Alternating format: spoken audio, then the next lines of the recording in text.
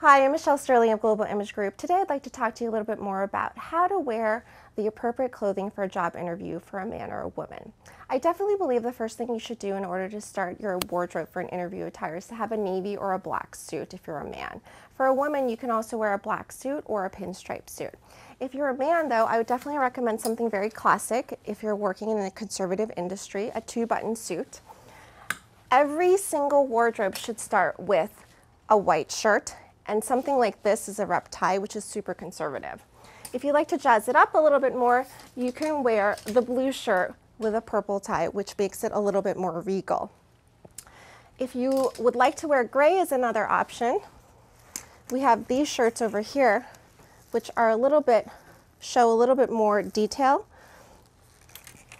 And then for a woman, I would recommend wearing something that looks polished and tailored.